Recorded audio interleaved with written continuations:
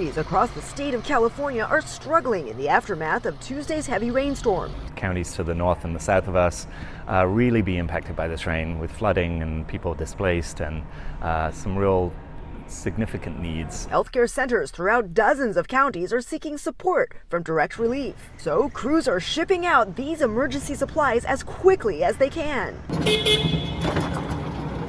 is uh, for one of our partners in Salinas.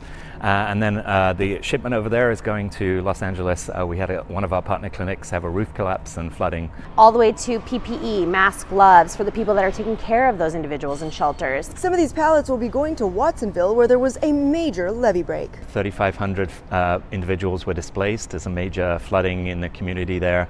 Uh, so we're sending supplies there and assistance to help that community. And the shipment to LA is more medications, uh, medical supplies, uh, PPE, and things like that.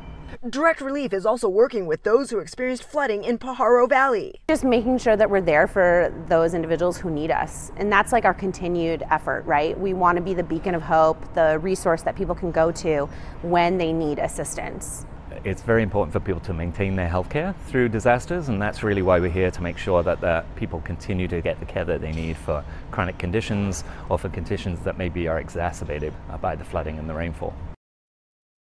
Well, the direct relief team is projecting the need for emergency supplies to increase by this weekend. Live in studio, I'm News Channel reporter Patricia Martellotti.